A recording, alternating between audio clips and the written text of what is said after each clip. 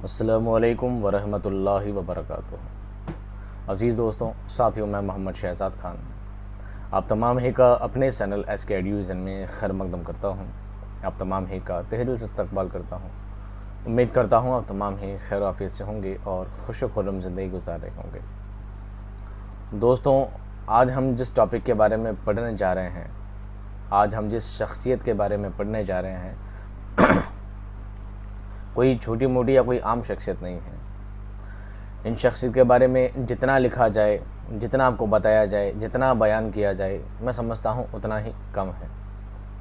अल्लामा इकबाल रहमतुल्लाह ला पूरा नाम बार बार लेना मुनासिब नहीं हो पाएगा, लेकिन ऐसा नहीं है कि हम इनका एहतराम नहीं करते। बहुत ही इज़्ज़त के काबिल, बहुत ही एहतराम के काबिल और बहुत ही ज़्यादा आला शख्सियत, बहुत अजीम शख्सियत अल्लामा इकबाल रहमतुल्लाह ताला बहुत ही आला दर्जे की शख्सियत हैं। इनको अल्लामा इकबाल के नाम से, सर इकबाल के नाम से, डॉक्टर इकबाल के नाम से जाना जाता है। और बहुत ही अहम चीज़ें आपके साथ गुज़री हैं, बहुत ही ख़ास बातें आपके साथ रही हैं। ऐसा कोई टॉपिक ऐसी कोई बात नहीं है, जब मैं तदवीन करने लगा था, जब मैं इनका संकलन करने लगा था, और जब मैं कंटेंट को डिज़ाइन करने में, जब टाइप करने लगा था तो ये सोचने लगा था कि ये चीज़ बता दी जाए, ये चीज़ इंपॉर्टेंट है। चलो ये चीज़ भी बता दी जाए, ये चीज़ भी इम्पोर्टेंट है। चलो ये चीज़ बता दी जाए, ये भी इम्पोर्टेंट है, इसको क्यों छोड़ें, इसको क्यों छोड़ें? यानी कोशिश ये रही थी कि ऐसा कोई वाक़ ऐसी कोई बात लगी ही नहीं कि इस चीज़ को छोड़ दिया जाए, इसके बारे में क्या बताया जाए, ये तो क्या ही आएगा। इनसे जुड़ी हर चीज़, हर बात मुझे इम्पोर्टेंट लगी थी। कोशिश की गई है बहुत ही शॉर्टली एंड स्वीटली आपको सब बताने की। उम्मीद करता हूँ जो मैं टॉपिक आपको बताऊँगा, जो चीज़ आपके सामने पेश करूँगा, उम्मीद करता हूँ उससे बाहर कुछ ना आए, ऐसी मेरी कोशिश है।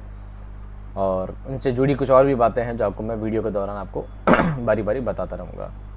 तो चलिए दोस्तों, आज हम अल्लाह में इकबाल के बारे में पढ़ने वाले हैं। और ये ऐसा टॉपिक है जो हर कंपटीशन हर कॉम्पिटिटिव एग्ज़ाम में इस टॉपिक से सवाल पूछा ही जाता है। यूँ समझ लीजिए, उर्दू का एग्ज़ाम कोई भी है कोई भी कॉम्पिटेटिव एग्ज़ाम है, अल्लामा इकबाल का नाम वहाँ ना आए तो ऐसा तो उर्दू खाली रह जाती है।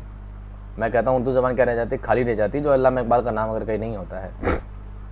तो अल्लामा इकबाल एक नज़म निगार की हैसियत से जाने जाते हैं, और ये टॉपिक हर कॉम्पिटिटिव एग्ज़ाम के लिहाज से आपको बार बार बार बार आपसे पूछा जाता रहा है, और इन आगे भी पूछा जाता रहेगा। चलिए एक कहानी के तौर पे, और हमेशा जैसा हमारा सिलसिला वाइज चलाते हैं, पहले घर पहले शुरुआती चीज़ें, इब्तदाई चीज़ें, फिर परिवार, फिर ख़ानदान, उसके बाद उनके आबा अजदाद उसके बाद उनकी तालीम, उसके बाद उनकी तसनीफ़ व तालीम उनके बाद उनके वफ़ात। ये हमारा पैटर्न हमेशा चला आता है। हम उसी पैटर्न के अकॉर्डिंग कहानी के रूप में सारी चीज़ों को जानेंगे, समझेंगे और आपको बताएँगे। अल्लामा इकबाल। नाम शेख मोहम्मद इकबाल रहमत ताला नाम क्या इनका? शेख मोहम्मद इबला, इकबाल। तखल्लुस है इनका इकबाल। तखल्लुस क्या है? इकबाल। पैदाइश नौ नवंबर, जुमे के दिन अट्ठारह ईस्वी को सियालकोट में। अगर आपको दिन याद ना रहे तो कोई बात नहीं, याद करना ज़रूरी भी नहीं है, मैंने लिख दिया बस। 9 नवंबर 1877 को सियालकोट में आपकी क्या हुई है दोस्तों? पैदाइश हुई है और वफात आपकी इक्कीस अप्रैल 1938 को लाहौर में हुई है। वालिद का नाम है शेख नूर मोहम्मद। ये याद रखिएगा, कई बार पूछा जा चुका है। वालिदा का नाम है इमाम बीबी। दादाजी का नाम है शेख मोहम्मद रफ़ीक। शेख मोहम्मद रफ़ीक। अब आगे कहानी बढ़ाते हैं, परिवार से स्टार्ट करते हैं। शेख नूर मोहम्मद, जो कि उनके वालिद साहब हैं, शेख नूर मोहम्मद एक सूफ़ी मंश और सादगी परस्त इंसान थे। इसी खूबी की वजह से बहुत मशहूर और बहुत मकबूल थे। ना सिर्फ़ मशहूर थे, बल्कि मकबूल भी थे। मशहूर तो कोई भी हो जाता है, पर मकबूल हर कोई नहीं हो पाता। इसलिए बारहा मैं कई बार वीडियो बता चुका हूँ कि मशहूर होना आसान है, मकबूल होना बहुत ही मुश्किल काम है। आपने दो लफ्ज़ सुने होंगे, प्रसिद्ध और विख्यात। तो मशहूर से मतलब है प्रसिद्ध और मकबूल से मतलब है विख्यात। अब इन दोनों में क्या फ़र्क है? आप चेक कीजिएगा, हिंदी में चेक कीजिएगा, आप समझ पाएँगे। एक तो चीज़ प्रसिद्ध होती है फ़ेमस होती है है ना? चीज़ फ़ेमस हो सकती है, प्रसिद्ध हो सकती है और एक कुख्यात और विख्यात हुआ करता है। तो कुख्यात उसका अपोजिट होता है और विख्यात मतलब होता है, विख्यात भी प्रसिद्धि ही होती है। लेकिन विख्यात और प्रसिद्धि में एक फ़र्क है। क्या है? आप हिंदी में चेक करिएगा और मुझे अगली वीडियो में कमेंट में बताइएगा। शेख नूर मोहम्मद के दो बेटे थे। बड़े बेटे का नाम अता मोहम्मद और छोटे बेटे का नाम इकबाल मोहम्मद रखा। यानी आपके दो भाई थे। आप दो भाई थे, एक इकबाल थे और इनसे बड़े एक भाई अता मोहम्मद थे। अता मोहम्मद ने इंजीनियर का पेशा इख्तियार किया, जबकि इकबाल मोहम्मद आगे चलकर मोहम्मद इकबाल के नाम से मशहूर हुए। अल्लामा मोहम्मद इकबाल के नाम से मशहूर हुए। अल्लामा में स्पेस छूट गया शायद। शायर अल्लामा इकबाल की पहचान उर्दू अदब में एक नज़म को शायर की हैसियत से होती है। हालाँकि उन्होंने अपनी अदब ज़िंदगी की इब्तदा रवायती अंदाज में गज़ल गोई से शुरू की थी। आपने शुरुआत में गज़ल लिखना ही शुरू किया था, इब्तदाई जैसे सभी शायरों ने किया है। लेकिन आगे चलकर आप एक नज़म निगार बने और नज़म निगार की हैसियत से ही आज आपको उर्दू अदब में जाना जाता है। ये रहा इंट्रोडक्शन अब बात करते हैं ख़ानदानी हालात के बारे में। इकबाल असलन कश्मीरी ब्राह्मण, यानी कश्मीरी ब्राह्मण थे। उनके आबा वजदाद ने 18वीं सदी के आखिर या 19वीं सदी के इब्तदा में इस्लाम मज़हब कबूल किया था। 1800 के लास्ट वाला जो टाइम है, उस टाइम में मतलब इनकी पैदाइश से पहले इनके आबा उजदाद कन कन्वर्ट हो चुके थे, यानी कश्मीरी ब्राह्मण से इस्लाम मज़हब को कबूल कर चुके थे। तो इसके बाद ये हिजरत करके सियालकोट चले गए और वहाँ मोहल्ला खेतियान में सकूनत इख्तियार कर ली, यानी मोहल्ला खेतियान में आप रहने लगे, कहाँ पर? सियालकोट में। और वहीं पर आपकी क्या हुई? फिर पैदाइश हुई। बात करते हैं तालीम की। इब्तदाई तालीम उन्होंने मकतब में हासिल की और तकरीबन एक साल तक कुरान मजीद पढ़ा। एक साल तक आप कुरान मजीद पढ़ते रहे, मकतब मदरसे में आपने पढ़ाई शुरुआत की। अल्लामा इकबाल के वालिद शेख नूर मोहम्मद के एक दोस्त थे, मौलवी मीर हसन शाह। नाम याद रखिएगा, मौलवी मीर हसन शाह, जो जो कि शाह साहब के नाम से मशहूर थे। किस नाम से मशहूर थे? शाह साहब के नाम से मशहूर थे। ये अपने ज़माने के मशहूर आलिम थे। अपने ज़माने क्या थे दोस्तों?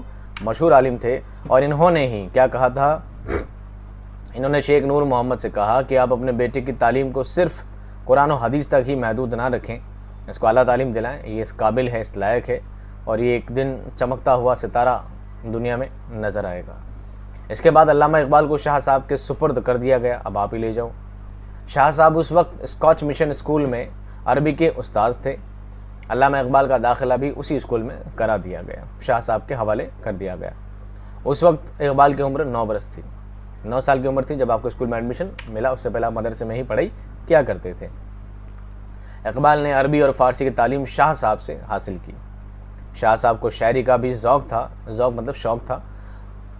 उन्हीं के ज़ेर असर इकबाल को भी शायरी का शौक़ हुआ। ये देखिए, बहुत अनोखी बात होती है। मैं इस बात को बार बार कॉपी करूँगा। ये बहुत अनोखी बात होती है, जैसा हमारा उस्ताद होता है, जैसा हमारा उस्ताद होता है, या हम जिसके कनेक्शन में रहते हैं, हम जिसके नेटवर्क में रहते हैं, हम जिसकी सोहबत में रहते हैं, हमें भी वो चीज़ें आना क्या हो जाती है? लाजमी हो जाती है। हम जैसे उस्ताद से पढ़ते हैं, जैसा हमारा उस्ताद का नेचर है, जैसा उसका व्यवहार है, अगर हम उनसे थोड़ी दिलजोई रखते हैं, मोहब्बत रखते हैं, और हम उनसे काफ़ी उनसीयत रखते हैं तो उनकी काफ़ी सारी बातें होती हैं जो हमें भी ट्रांसफ़र हो जाती है। आप मुझमें अगर कोई एक आध भी अच्छी बात देखते हैं तो बरहक हक बात है कि मेरे ही उस्तादों का कुछ नतीजा होगा। उन्हीं की कुछ अच्छाई, अच्छाइयाँ होगी, जो शायद आज मुझमें कुछ नज़र आती होगी। और अगर मुझमें कुछ बुराइयाँ हैं तो मैं ये नहीं कहूँगा मेरे उस्ताद की बुराइयाँ हैं। मैं समझूँगा, अगर मुझमें एक दो भी बुराइयाँ वो मेरी खुद की उपज है। वो बुराइयाँ मुझमें खुद में है, लेकिन मुझमें जो भी अच्छाइयाँ नज़र आती है तो बरक अल्लाह ने शायद वो मेरे उस्तादों का ही मुझ पर करम रखा है। तो शाह साहब को क्या था? शायरी का शौक़ था, और इसी वजह से अल्लाह इकबाल को भी शेर व शायरी का बचपन से ही क्या लग गया था। शौक़ लग गया था, बचपन से ही। अल्लाह इकबाल मौलाना रोम के अशार से बहुत मुतासर थे। मौलाना रोम है, मौलाना रोमी भी बोलते हैं इनको, ठीक है? इनके अशार से एक बहुत ज़्यादा मुतासर थे, प्रभावित थे। स्कूली तालीम के दौरान ही इकबाल ने शायरी, इकबाल ने शायरी शुरू कर दी, दो बार लिख दिया। इकबाल ने शायरी क्या कर दी? शुरू कर दी। अट्ठारह सौ इक्यानवे में इकबाल ने मिडिल क्लास पास की। ये चीज़ आपको याद रखनी है। अट्ठारह सौ इक्यानवे में क्या किया? मिडिल मिडिल क्लास पास की। अट्ठारह सौ तिरानवे में इकबाल ने मैट्रिक का इम्तहान पास किया। मिडिल यानी आठवीं। मैट्रिक यानी दसवीं और अठारह सौ में स्कॉच मिशन स्कूल से ही इंटर पास किया। अब ये सवाल बच्चे ने पूछा था, सर, इंटर्स किस कहते हैं? इंटर्स इंटर्स एक ही होता है, पूरा इंटर पास करना मतलब? इसे कहते हैं ट्वेल्थ क्लास पास करना। क्या कहते हैं? Twelfth class twelfth class pass करना। कई बार कॉलेज कॉलेज के नाम से भी इंटर नाम दे दिया जाता है तो ये कन्फ्यूज़ होती है, सर, कॉलेज में बारहवीं क्लास कौन सी होती है? तो देखिए मसला ये होता है कि इंटर्न्स का जो एग्ज़ाम होता है, उसको बारहवीं क्लास ही कहा जाता है। लेकिन कई बार ऐसा होता है, बड़ी यूनिवर्सिटीज़ में, बड़ी यूनिवर्सिटीज़ में, बड़े कॉलेजेस में इम्तहान एडमिशन लेने के लिए, दाखिला लेने के लिए एक एग्ज़ाम होता, हुआ करता है, जिसको आज सी वी वगैरह वगैरह कहा जाता है आज के दौर में। तो उस ज़माने में इंटर्न्स कहा जाता था, और वो एग्ज़ाम पास करना भी क्या होता था, बहुत ज़रूरी हुआ करता था। इसके बाद मज़ीद तालीम के लिए, और ज़्यादा तालीम शिक्षा प्राप्त करने के लिए, अल्लाह इकबाल, लाहौर से अल्लामा इकबाल लाहौर गवर्नमेंट चले गए। कहाँ चले गए? लाहौर गवर्नमेंट स्कूल चले गए। अठारह में बीए पास किया और आला नंबरात से कामयाबी पर उनको दो सोने के तमगे, यानी कि दो मेडल मिले हैं, एक अरबी के लिए, एक अंग्रेज़ी के लिए दिए गए। अट्ठारह में बीए का आपने इम्तहान पास किया, लाहौर गवर्नमेंट कॉलेज से पास किया और इतना अच्छा नंबर से पास किया था कि आला नंबर की वजह से एक अरबी के लिए, एक अंग्रेज़ी के लिए आपको क्या मिले? दो गोल्ड मेडल आपको दिए गए। अट्ठारह में उन्होंने फ़लसफ़े से एमए की डिग्री ली। फ़लसफ़ा, फ़िलासफ़ी, दर्शन शास्त्र से आपने क्या लिया? एम एम किया।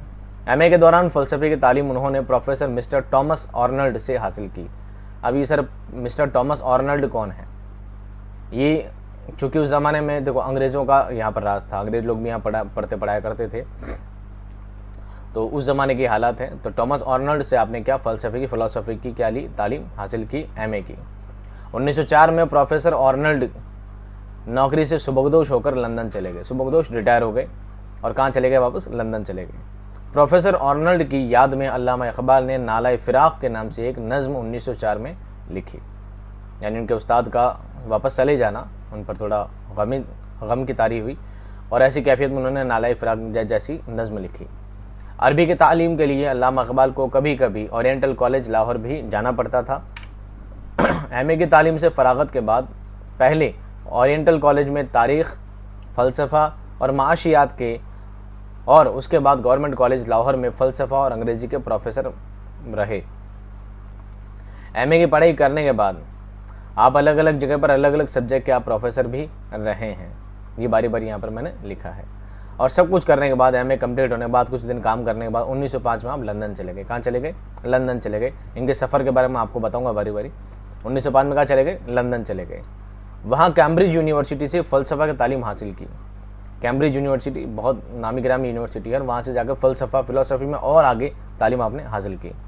इस यूनिवर्सिटी में निकलसन और ब्राउन से तालीम हासिल की। क्या नाम है दोस्तों? निकलसन और ब्राउन से आपने क्या की? तालीम हासिल की। उस दौरान उन्होंने फ़लसफ़ा अजम पर एक मकाला लिखा। उसे अंग्रेज़ी में the development of metaphysics in Persia कहा जाता है। इन्होंने जो पीएचडी की डिग्री लेनी थी, आप समझते पीएचडी की डिग्री होती है फिलोसफी डॉक्टरेट तो शायद ये नाम इसकी फुल फॉर्म तो पीएचडी की डिग्री के लिए दोस्तों क्या करना होता है, हम जो क्लासेस का एग्ज़ाम देते हैं, चाहे हम नाइन्थ का टेंथ का स्कूल का बीए का एग्ज़ाम देते हैं तो हमें रिटर्न चीज़ें लिखनी होती है पेपर आता है। पीएचडी में ऐसा नहीं होता है। पीएचडी में एक थीसिस लिखनी होती है। क्या लिखनी होती है? थीसिस आपको एक टॉपिक चुनना होता है। उस टॉपिक पर अपना क्वान्टिटिव मवाद पूरा लिखना होता है किताब किताब नुमा शक्ल में पूरी चीज़ें लिखनी होती है, अपनी ही ज़बान में। वो पास होती है और वो उससे थीसिस कहा जाता है। उसे उर्दू में मकाला कहा जाता है। क्या कहा जाता है? मकाला कहा जाता है। असल में उसे इंग्लिश में कहते हैं थीसिस क्या कहा जाता है? थीसिस कहा जाता है। वो थीसिस पास होती है चेक होती है, उसके बाद आपको पीएचडी की डिग्री मिलती है। तो आपने थीसिस में जो टॉपिक लिया था, उस टॉपिक का नाम है फलसफा अजम। फलसफा अजम। इंग्लिश में अगर से अगर आप पढ़ेंगे तो उसका मतलब है the development of metaphysics in Persia the development of metaphysics in Persia इसे इंग्लिश में कहा जाता है। फ़लसफ़ा अजम अल्लामा इकबाल का पीएचडी का मौजू था, यानी टॉपिक था, जिस पर उन्होंने पूरा बयान किया था। 1907 में जर्मनी की म्यूनिख यूनिवर्सिटी ने उस पर अल्लामा इकबाल को पीएचडी की डिग्री तफवीज़ की। कौन सी यूनिवर्सिटी ने दी थी? जर्मनी की यूनिवर्सिटी थी म्यूनिख यूनिवर्सिटी कौन सी थी? म्यूनिक यूनिवर्सिटी कहाँ की थी? जर्मनी की थी। कब दी? 1907 में दी। क्या दी? पीएचडी की डिग्री दी। किस टॉपिक पर दी? The development of metaphysics in Persia यानी फलसफा अजम पर दी। किसने लिखी? अलामा इकबाल ने लिखी थी। सारी बातें आपको घुमा फिरा कर याद करनी है। कैसे भी घुमा फिरा कर आपसे तोड़ मरोड़ के सवाल आपसे पूछा जा सकता है। इसके बाद वापस लंदन चले आए और वहाँ से वकालत की तालीम हासिल की। पहले कहाँ गए थे? जर्मनी गए थे। जर्मनी से वापस कहाँ गए? लंदन आ गए। प्रोफेसर ऑर्नल्ड उस ज़माने में लंदन यूनिवर्सिटी में अरबी के प्रोफेसर थे। पहले यहाँ पर थे। कहाँ थे? हिंदुस्तान में। जो कि पूरा हिंदुस्तान था, उस ज़माने में हिंदुस्तान, पाकिस्तान दो अलग मुल्क नहीं थे। तो ये पूरा एक साथ ही था पूरा मामला। पहले यहाँ थे, यहाँ से कहाँ चले गए? लंदन चले गए थे। लंदन यहाँ से रिटायर लंदन चले गए, लंदन जाकर उन्होंने वापस पढ़ाना शुरू कर दिया था। और वहाँ पर अरबी के क्या थे? प्रोफेसर थे। कौन? प्रोफेसर ऑर्नल्ड उनके चले जाने के बाद अलामा इकबाल छः माह तक उनकी जगह अरबी के प्रोफेसर रहे। यानी प्रोफेसर ऑर्नल्ड से उनको इतनी ज़्यादा दिलजोई थी और जब प्रोफेसर आर्नोल्ड यहाँ से रिटायर होकर गए थे, जो सुबकदोश होकर गए थे तो उन्हीं की जगह पर ये छः महीने तक वहाँ पर क्या रहे थे? प्रोफेसर रहे थे अरबी के। जुलाई 1908 में वापस हिंदुस्तान चले आए और वकालत शुरू की, कर दी, लेकिन बहुत जल्द ही उसको छोड़ दिया। वकालत का पेशा उनको रास नहीं आया। 1915 में इकबाल ने अपनी मशहूर नज़म इसरार खुदी को पेश किया। 1918 में रमूज़ बेखुदी मंजर आम पर आया। नाम याद रखना है आपको। और ये हालात आपके साथ हुए हैं। अब बात करते हैं अल्लामा इकबाल की अदबी ज़िंदगी। अब अदब में आपने क्या क्या झंडे गाड़े हैं, क्या आपने बड़े काम किए हैं एक एक करके सारी बातों को हम जानते हैं। अल्लामा इकबाल ने शायरी की इब्तदा रिवायती अंदाज में गज़ल गोई से की, लेकिन बहुत जल्द ही नज़म निगार की तरफ़ नज़म निगारी की तरफ़ क्या हो गए? मुतवजो हो गए, उसकी तरफ़ रागब हो गए। मीर हसन शाह और शाह साहब के ज़ेर असर अल्लामा ने शायरी की इब्तदा की थी। मैट्रिक से कबल ही छोटी छोटी नज़में लिखने लगे थे। दसवीं क्लास में आते आते तो आप नज़में लिखने लगे थे छोटी छोटी अट्ठारह में अल्लामा ने दाग दहलवी को शायरी में अपना उस्ताद बनाया। सबसे पहले कौन थे? शाह साहब थे। शाह साहब से थोड़ा आगे बढ़ने लगे तो आपने दाग दहलवी को क्या बनाया? अपना उस्ताद बनाया अठारह में।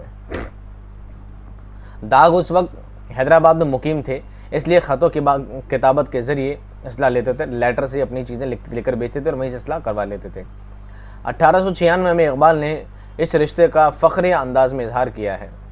क्या लिखते हैं उनके बारे में? मुझे भी फ़ख्र है, शागिर्द ये दाग सुखंदा का। ये कहते हैं, मुझे फ़ख्र है इस बात पर कि मैं दाग सुखंदा, दाग दहलवी जैसे इंसान का शागिर्द हूँ। ये मेरे लिए बहुत फ़ख्र की बात है। ये बात वो अपने कलाम में लिखते हैं। अठारह सौ में इकबाल ने लाहौर के एक जलसे में एक गज़ल पढ़ी, जिसका एक शेर बहुत मशहूर हुआ। क्या था शेर? देखिए। मोती समझ के शान करीमी ने चुन लिया। मोती समझ के शान करीमी ने चुन लिया। कतरे तो जी कतरे जो थे मेरे अर्क़ इनफ़ाल के। इस मुशायरे में अपने दौर के मशहूर शायर मिर्ज़ा राशिद गोगानी भी शामिल थे। मिर्ज़ा साहब की दाद देने पर मजबूर हो गए। मिर्ज़ा साहब इस बात की दाद देने पर क्या हो गए मजबूर हो गए। क्या पड़ा है? वाह वाह वाह वाह, का तांता बन गया था। यहाँ से अल्लामा की शहरत बढ़ती गई और धीरे धीरे गज़ल से नज़म की तरफ़ मुतवजो होने लगे। अल्लामा इकबाल रहमत ताली अंग्रेज़ी शायरी से भी वाकफियत रखते थे। अलामा विलियम वुड्सवर्थ से भी बहुत ज़्यादा मुतासर थे। अंग्रेज़ी शायरी में पढ़ते थे और किन से प्रभावित थे? William Wordsworth. उस दौर में उनकी एक अहम अहम नज़म हिमालय बहुत मशहूर हुई। ये अलामा के पहले शहरी मजमू बांग दुर्रा की पहली नज़म है। 1900 ईस्वी में उन्होंने अपने ख़ास नज़म नाला यतीम एक मखसूस लय में पढ़ी, जिसका सामाइन पर गहरा असर पड़ा। हैरत में पड़ गए उनका इस अंदाज में पढ़ने पर। 1904 में तस्वीर दर्द के नाम से एक नज़म पढ़ी, जो कि वतन परिस्थिति और हिंदू मुस्लिम इतिहाद पर एक अहम नज़म है। इस जलसे में मौलाना अल्ताफ़ हुसैन हाली और ख्वाजा हसन निज़ामी तशरीफ़ फरमा थे इस नज़म को सुनकर हसन निज़ामी ने अपनी पगड़ी उतार कर अलामा के सर पर रख दी। इतनी ज़बरदस्त अंदाज में आपने चीज़ों को पढ़ा था। यार कोई दाद देने पर बनता था। नाखदीन ने अल्लामा इकबाल की अदबी ज़िंदगी, यानी शायरी, शायर को तीन अदवार में तकसीम किया है। कितने दौर में बांटा है दोस्तों?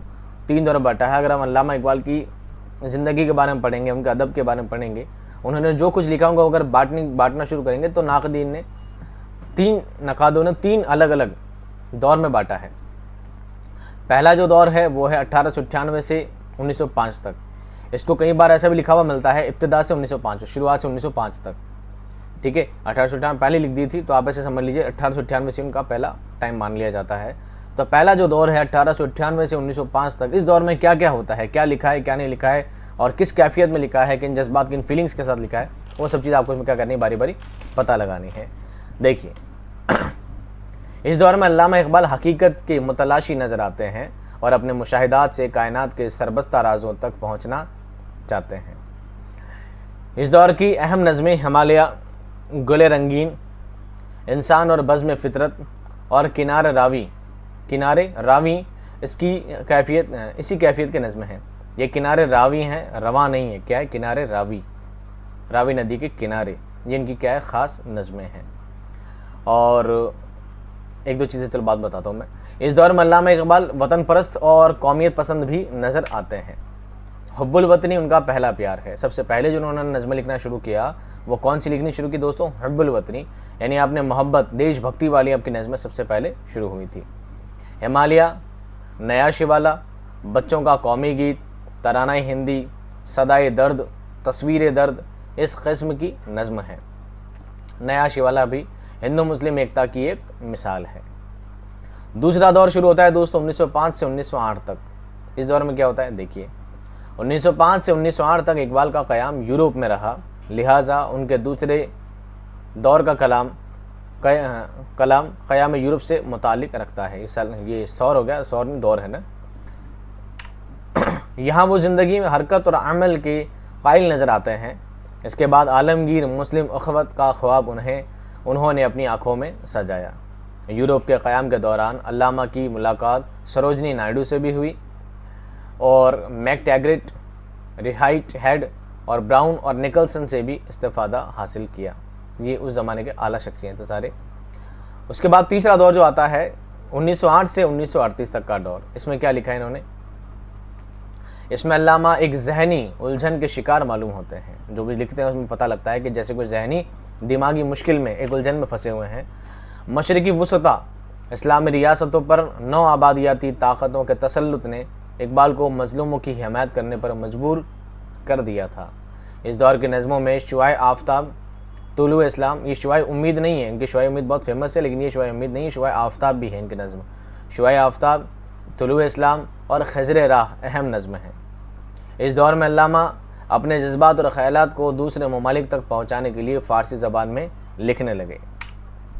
इस दौर में ना वतन परिस्थिति और ना ही अंग्रेज़ी नज़मों से मुतासर थे, बल्कि फ़लसफ़ा खुदी फ़लसफ़ा बेखुदी और रमूज़ बेखुदी के जज्बे से सरशार थे। इकबाल के कलाम में फ़लसफ़ा बहदानियत और इश्क इश्क में नुमाया रहा। इसके अलावा कलाम में मुहासिन शर और फ़लसफियाना गौर फ़िक्र उनके कलाम की खूबियाँ रही हैं। ये था उनका अदबी ज़माना। अब बात करते हैं दोस्तों अल्लामा की ज़ाती ज़िंदगी के बारे में पर्सनल लाइफ के बारे में। अल्लामा ने तीन शादियाँ की थी, लेकिन शादी वाला कोई भी इनका सिस्टम सही नहीं चला है। मतलब ही समझ लीजिए शादीशुदा ज़िंदगी इनकी ज़्यादा बेहतर नहीं रही है। अल्लामा फ़ारसी शायरी में गालिब, नज़ीर, रोमी, हाफिज़ और बेदल से मुतासर थे। ये सारे शायर से बहुत ज़्यादा क्या थे? बहुत मुतासर थे, प्रभावित थे। कौन कौन गालिब, नज़ीर, मौलाना रोमी, हाफिज़ और बेदिल। मगरबी और मशरक़ी शख्सियात में गोइटे। मगरबी और मशरक़ी शख्सियात में गोइटे, नश्ते और गिसा। ये पूरा बरगिसा था। मैं गिसा लिख दिया शेख बरगिसा के अलावा वो मशरक़ी शख्सियात में मुजद अल्फसानी और मौलाना रोम से बहुत मुतासर रहे हैं। मौलाना रोम के अशार भी, अशार से भी बहुत मुतासर थे। मौलाना रोम से, उनकी पर्सनैलिटी से, उनके व्यक्तित्व से और मौलाना रोम के अशार से आप बहुत ज़्यादा क्या थे? प्रभावित थे। इन, उनमें बहुत ज़्यादा रुचि लिया करते थे। और क्या फरमाते थे उनके बारे में? देखिए वह मौलाना रोम को, मौलाना रोम को ये पीर रोमी और ख़ुद को ये मुरीद हिंदी कहते थे। यानी उनको क्या कह सकते हैं, एक उनसीयत से, एक मोहब्बत से, एक रूहानी पीर समझते थे और अपने आप को उनका मुरीद समझते थे। एक रूहानी पीर और अपने आप को क्या समझते थे उनका? मुरीद समझते थे। उनको कहते थे, पीर रोमी कहते थे और ख़ुद को मुरीद हिंदी कहते थे कि मैं हिंदुस्तान का मुरीद हूँ और वो रोम के क्या हैं? पीर हैं। मौलाना रोमी के बारे में ऐसा कहा करते थे। अब बात करते हैं खिताबात। आपको क्या क्या खिताब आपको दिए गए? सियालकोट से जब लाहौर आए तो सिर्फ़ शेख मोहम्मद इकबाल थे। लेकिन जब यूरोप से वापस आए तो डॉक्टर अल्लामा इकबाल बने। 1923 में हुकूमत हिंद ने अल्लामा को सर का खिताब दिया। किसका खिताब दिया? सर का खिताब दिया। इस एजाज़ आपको नवाजा गया। अलामा की शर्त ये थी कि सर का खिताब मैं उस वक्त कबूल करूँगा। इनकी शर्त क्या थी? सर का खिताब तभी लूँगा जब मेरे उस्ताद मीर हसन शाह को शमसुलमा का खिताब दिया जाए। इसलिए इनको पूरा नाम शमसुलमा शाह मीर हसन शाह करके कहा जाता है। शायर मशरक और रोमी असर अल्लामा के अलकाब है। इन लकब से आपको जाना जाता है। शायर मशरक तो आपको पता ही है अल्लाह इकबाल को ही कहा जाता है। शायर मशरक और रोमी असर इनका लकब है। अब बात करते हैं तसानीफ़ के बारे में, आपने क्या क्या लिखा है। उर्दू में अल्लामा के चार शेरी मजमू हैं। पहला है बांग दुर्रा, जो कि 1924 में लिखा है। दूसरा है बाल जब्राइल, जो कि 1935 में लिखा है। तीसरा है ज़रब कलीम 1936 में और चौथा है अरमगान हिजाज 1938 में। चारों ही नाम आप बिल्कुल क्या कर लीजिएगा, दिमाग में सेट कर लीजिएगा और कब लिखे गए ये भी आप याद रख लीजिएगा। इनसे सवाल बनता ही बनता है। मजमु अरमगान हिजाज उर्दू में है, लेकिन इसका एक हिस्सा फारसी में है। अरमगान हिजाज पूरा कैसा है? उर्दू में है, लेकिन इसका एक हिस्सा फारसी में भी लिखा गया है, इसके मजमू का। अब फारसी मजमू कौन से हैं? वो भी चार ही हैं। इसरार खुदी रमूज़ बेखुदी ज़बूर अजम और पयाम मशरक। ये इन चारों क्या हैं? ये फ़ारसी मजमू हैं और ऊपर वाले चारों उर्दू मजमू हैं। जावेद नामा ये डिवाइन कॉमेडी से मुतासर होकर लिखा था। इल्मुल ये अल्लामा की पहली और बाकायदा तसनीफ़ है। ये नसरी अंदाज में लिखी गई है। 1930 में अंग्रेज़ी खतबात का खतबात का मजमू लिखा है। किस नाम से? Reconstruction of religious thoughts in Islam. Reconstruction of religious thoughts in Islam के नाम से मंजर आम पर आया। आपने अंग्रेज़ी में क्या किया उसका ट्रांसलेशन किया है या शायद लिखा है? उन्नीस सौ अट्ठावन में बज़म इकबाल लाहौर की तरफ़ से इस किताब का उर्दू तर्जुमा तश्कील जदीद अलहियात इस्लामिया के नाम से शाया हुआ। आपने जो भी लिखा इंग्लिश में, उसी का उन्नीस सौ अट्ठावन में जाकर बज़म इकबाल लाहौर की तरफ़ से इस किताब का उर्दू में तर्जुमा हुआ और किस नाम से हुआ? तश्कील जदीद अलहियात इस्लामिया के नाम से शाया हुआ, प्रकाशित हुआ। ये करताब नहीं था, किताब था रॉन्ग मिस्टेक टाइपिंग 1907 में फ़लसफ़ा अजम पर पीएचडी की आपको डिग्री मिली, जो मैं आपको पहले बता चुका हूँ। इकबाल की हयात और ख़दमात से कुछ अहम निकात। अब बात करते हैं कि ज़िंदगी से कुछ खास टॉपिक्स जो आपको बताना शायद ज़रूरी है। इब्तदा में अल्लामा इकबाल अंजुमन बज़म हमायात इस्लाम इस्लाम में नज़म पढ़ते थे। 1910 में इसके मेंबर बने और 1934 में इसके सदर भी बने। 1931 में पहली गोल मैच कॉन्फ्रेंस में आप शामिल हुए। 1932 में दूसरी मरतबा गोल मैच कॉन्फ्रेंस में शामिल हुए। असफार जमा है सफ़र की। आपने सफ़र कौन कौन से किए हैं? 1933 में सैयद सुलेमान नदवी और रास मसूद के साथ नादिर शाह की दावत पर अफ़गानिस्तान का सफ़र किया। 1938 में मद्रास से प्रोफेसर के लिए बुलावा आया और मद्रास से ये मैसूर और मैसूर से हैदराबाद वापस आए, ये इनके सफ़र रहे हैं।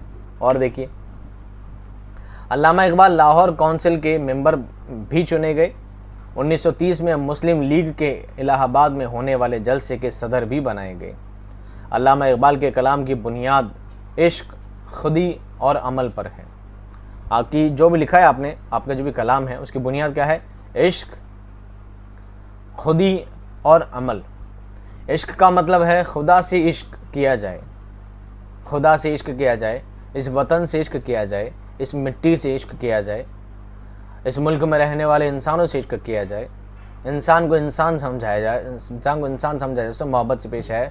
ये उनका मोटो है। दूसरा है खुदी। खुदी से मतलब है कॉन्फिडेंट इंसान को अपनी ज़िंदगी में खुद पर क्या रहना चाहिए? कॉन्फिडेंट रहना चाहिए। आत्मविश्वास होना चाहिए कि मैं जो मैं कर सकता हूँ। ओवर कॉन्फिडेंट नहीं होना चाहिए, लेकिन कॉन्फिडेंट होना चाहिए। मैं कर सकता हूँ, मैं कोशिश करूँगा, मैं हिम्मत करूँगा, और अल्लाह ताला से मुझे कामयाब करेगा। और तीसरी चीज़ है अमल। ये उनके मोटो रहे हैं, ख़ास जो अल्लाह इकबाल अपने कलाम में बार बार ये बात दोहराई है। और तीसरी चीज़ अमल। अमल का मतलब है मुझे काम करना है। पढ़े पढ़े कुछ नहीं होगा। पढ़े पढ़े कुछ नहीं होगा। जब तक मैं कुछ करूँगा नहीं, मुझे कुछ हासिल नहीं होगा। इंसान को कुछ ना कुछ करते रहना चाहिए। कुछ ना कुछ करते रहना चाहिए। कुछ ना कुछ से मतलब यूँ नहीं, हर को उठ पटांग काम करते रहें। एक राह सोचें, एक एम बनाएँ, अपनी ज़िंदगी का मकसद बनाएँ और उसकी तरफ़ जुट जाएँ। ये उनका कहने का मकसद है। आखिरी चीज़ है वफ़ात। अल्लामा इकबाल की वफ़ात 1938 में दिल के आरिजा की वजह से लाहौर में उनकी वफ़ात हो गई। दिल आरिजा, दिल के आरिजा ने दिल की बीमारी की वजह से उनकी क्या हो गई? वफ़ात हो गई। अब आखिरी दो दो तीन पेजों में क्या लिया है? अलामा से मुतल मुख्तलिफ़ आरव ख्यालात। अब लोगों ने उनके बारे में क्या ख्याल रखते हैं? लोगों के बारे में क्या अखवाल कहते हैं? वो अखवाल सारे हमने यहाँ पे जमा किए हैं। जैसे, इकबाल की नज़मों का शबाब, इकबाल की गज़लों की की शराब में डूबा हो, डूबा हुआ है। किसने कहा है? रशीद अहमद सिद्दीकी ने। हाली माजी के, अकबर हाल के और इकबाल मुस्तकबिल के शायर हैं। कौन कहता है? रशीद अहमद सिद्दीकी। अकबर अकबर मुबसर हालिम हाली मुअल्लिम और इकबाल मुजाहिद हैं। कौन कहते हैं? रशीद अहमद सिद्दीकी। अकबर कौन है? मुबसर हैं। अकबर इलाहाबादी। हाली मुअल्लिम है और इकबाल मुजाहिद हैं। जिहाद करने वाले। इकबाल और जोश में वही फ़र्क है जो एक फ़िक्र और ढनोची में होता है। ये खलीलरहमान आज़मी कहते हैं। एक इकबाल गालिब के मानवी फर्जंद हैं, मलिक राम।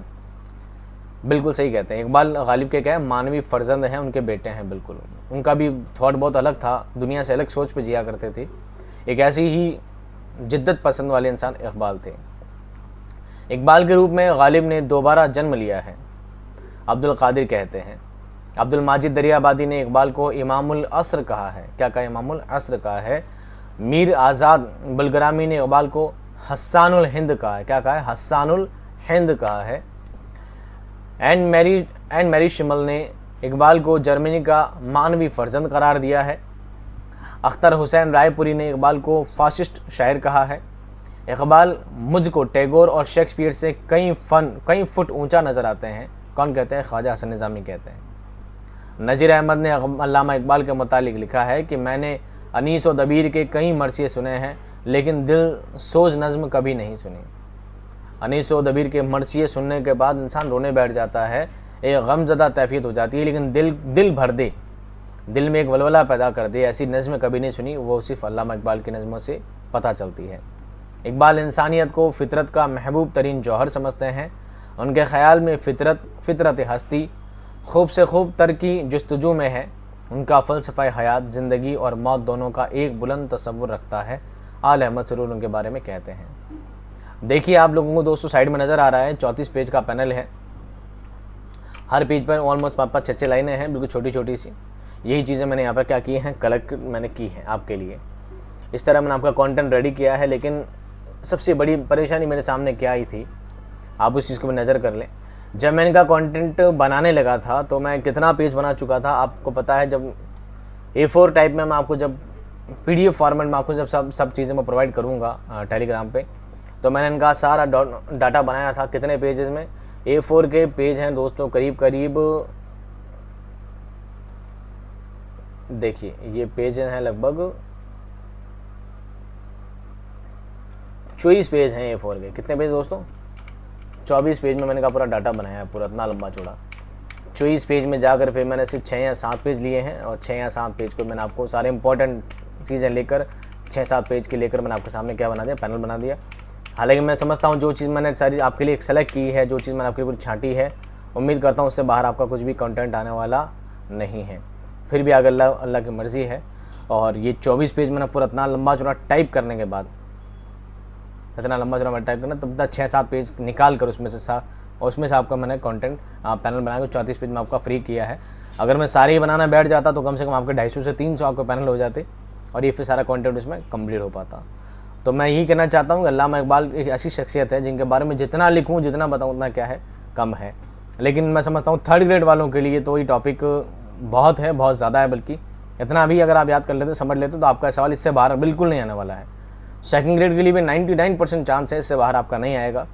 फिर भी मैं आपको ये चौबीस पेज वाली फ़ाइल आपके पी में प्रोवाइड करके मैं आपको टेलीग्राम पर अपलोड कर दूँगा। आप इसका प्रिंट निकलवा लीजिएगा भले आराम से। और उसको बैठ के पूरा पढ़ लीजिएगा। कहीं से भी कोई भी चीज़ छूटी नहीं है। अल्लाह इकबाल की पूरी ज़िंदगी बचपन से लेकर उनके वफात तक, इसमें हर चीज़ को मैंने बहुत डिटेल में पेश किया है। आप सब चीज़ों को पढ़ेंगे। हर चीज़ आपको याद रहे ना रहे, कोई जहन नहीं, लेकिन आपको एक कहानी के तौर पर सारी चीज़ें याद रहेगी। अल्लाह इकबाल की पैदाइश से लेकर, उनकी वफात से लेकर, उनकी शादी वगैरह, उनकी तसनीफ़ तसनीफ़ व तालीफ, हर चीज़ बहुत डिटेल में इसमें बयान की गई है। तो मैं समझता हूँ आपका कोई भी टॉपिक छूटने वाला इसमें नहीं है। उम्मीद करता हूँ दोस्तों, आज का टॉपिक आपको बहुत पसंद आया होगा। अगर पसंद आया तो प्लीज़ वीडियो को लाइक कर दीजिएगा, अपने दोस्तों में शेयर कर दीजिएगा। मैं मिलूँगा आपको नेक्स्ट क्लास में एक शानदार टॉपिक और ज़बरदस्त वीडियो के साथ। तब तक आप खुश रहिए, आबाद रहिए। खुदा हाफिज़।